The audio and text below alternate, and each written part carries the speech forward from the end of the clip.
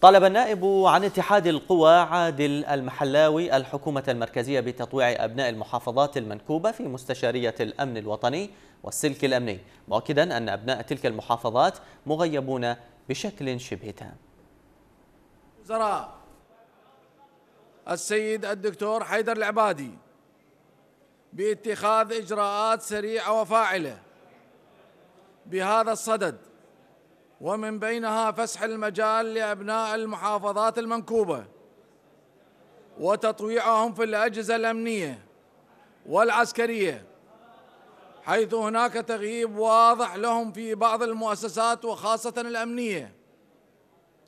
على سبيل المثال مستشارية الأمن الوطني التي فيها قصور واضح.